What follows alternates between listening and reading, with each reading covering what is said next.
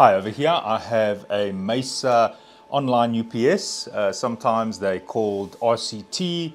Anyway, there's many different varieties or front face plates for the exact same UPS. And what I'm going to demonstrate in this video is how to disable that alarm when the power is offline. For example, here is the power cable. It's now unplugged and notice that it's now being fed from batteries and there is no buzzing or no alarm.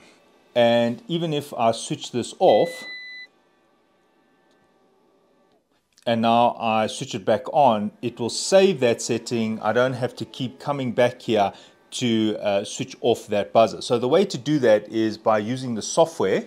Right, so the unit does come with this disk with uh, UPS software and then it's got this uh, serial cable if you were born in the 1970s like me or you can use this USB cable. So what I need to do is just install the software and I'll quickly show you where I got the software from because I'm not using the disk. I'll download it directly from the internet. I just plug in the USB at the back and then I plug this into my computer and I make sure the UPS is on and now I'll go and show you the software installation and how to disable that buzzer or that alarm.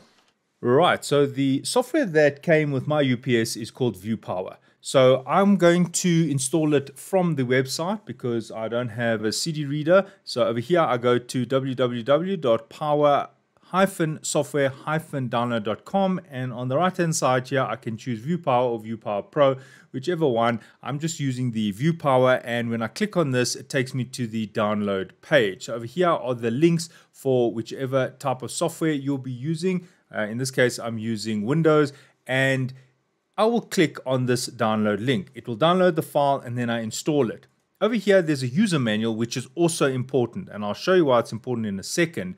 But the first step is to download and install. Once you've installed the software, it'll open as an HTML page, and the UPS is currently connected to my laptop with the USB and it's showing the uh, layout of the UPS. You can see that it's even showing the input voltage, the frequency, etc. So you've got some control here via the web page. So I want to shut off the UPS alarm. So I'm going to go to the control panel here and there uh, should come up some settings. There are the settings and in this case I want to disable the UPS alarm. So I click disable and now it's asking me for a password. And that is why I suggested that you could download the user manual. Anyway, if you don't download the user manual, the password is administrator all lowercase. So I just do that and just make sure that the A is a small a and then I can log in and then I disable the UPS alarm.